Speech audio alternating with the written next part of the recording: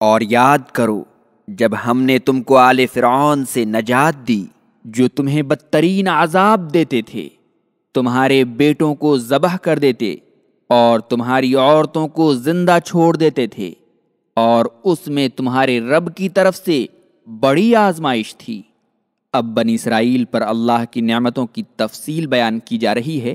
یہاں بھی خطاب اگرچہ یہود مدینہ سے ہے، لیکن مراد ان کے آبا و اجداد ہیں۔ اور آل فرعون سے مراد فرعون اس کا لشکر اور اس کے پیروکار ہیں۔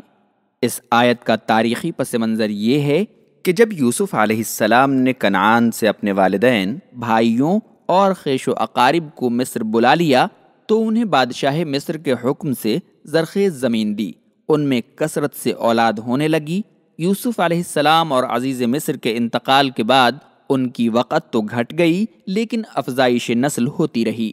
آخر کار مصر کا ایک ایسا بادشاہ ہوا جو اسرائیلیوں کی کثرت دیکھ کر ڈر گیا اور اپنی قوم سے کہا کہ بنی اسرائیل ہم سے تعداد میں زیادہ اور شان و شوکت والے ہو گئے۔